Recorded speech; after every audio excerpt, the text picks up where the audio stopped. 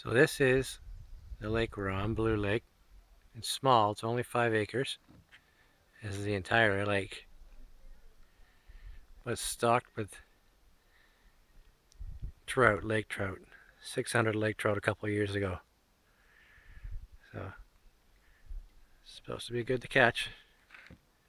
Here's our solar panels, and there's my trailer on the lot, boat.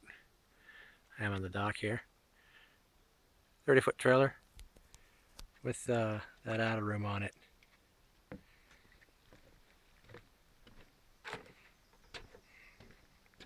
It's basically on a cottage lot.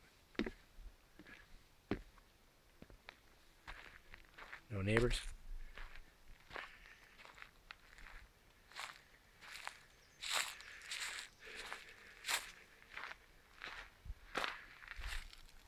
Here's the entrance.